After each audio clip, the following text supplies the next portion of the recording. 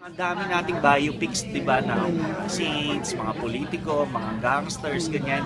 Bakit wala tayong ano, ah, biopic tungkol sa filmmaker, artist, di ba? Parang it's about time that we do something like that. Napag-usapan na namin ni Ricky Lee, along with producer Zonji ah, Alonso, na next year, baka pinasok kasi namin eh sa isang festival. So sana matanggap kami. Ah, pero I think kung matanggap o hindi, itutuloy namin. Nakusap na rin namin yung mga kinauukulan, yung mga ah, si Bayani ah, na pamangkin ni, ni Bernal, ah, Bayani Santos. Ah, we already had permission and ah, we're just doing more research and finalizing the script.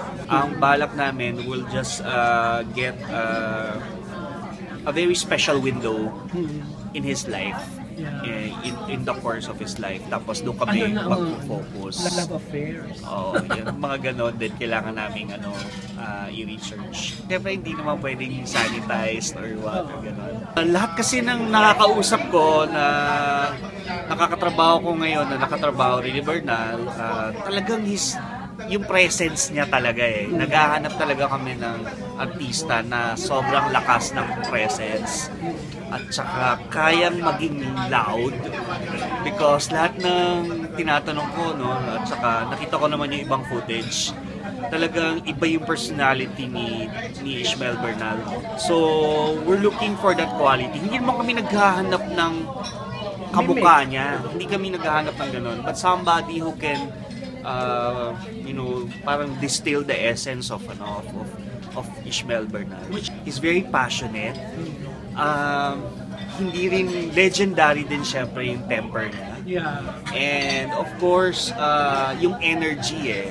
Sabi nila, pagka nasa set daw talaga, halimbawa nagsushooting siya dito, may ibang shooting doon, pag sumigaw siya ng cut dito, ang nagka-cut yung kabilang shooting. Sa lakas ng sa lakas ng boses niya. So, ah yun yung hinahanap namin. And of course, yung nga yung sinabi ko, yung passion, yung parang magpapakamatay para sa sining eh. Parang ganun si si Bernal. So, ah yun, hinahanap namin. Ariel Oreta, nakatrabaho ko Ah, ngayon kasi sa sa Kimidora. oh, sa Kimidora, nakatrabaho sa Kimidora. Ariel worked with him, yes, yung mga nung 1970s pa, no? So, ah sabi niya, nako direct, bakulaw yun.